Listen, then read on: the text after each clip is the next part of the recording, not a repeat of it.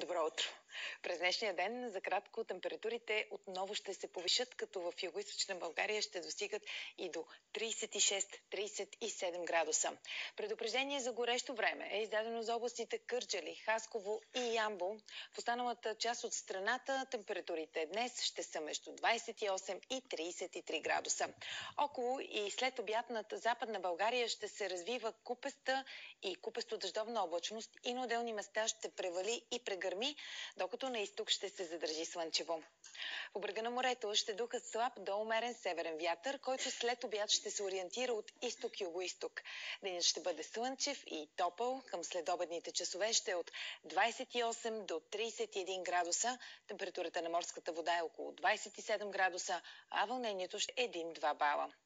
След обяд над планините в Западна България ще има повече облаци и на места там ще превали и прегърми. Ще духа слаб до умерен вятър от юг-югозапад. Температури в курортите около 28 градуса, а вече виждате и очакваните максимални температури, както и какво време. Днес на по-голямата част от континента слънчево и топло ще бъде над Пиринейския полуостров, както и над по-голямата част от Франция. А на британските острови, в страните от Бенелюкс, ще бъде с повече облаци, на места и с слаби валежи. Да ще превали днес и в Северна Германия, а Полша също така и в планини в централните и северните райони на Балканите. В източните и южните части от полуострова температурите ще се задържат високи. С усилване на вятъра от северозапад ще проникне още хладен въздух.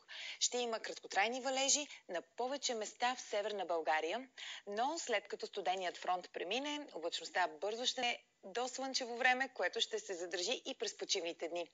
В началото седмица в следобедните часове ще има купести облаци, а над източните райони сутрин ще бъде с ниска облачност.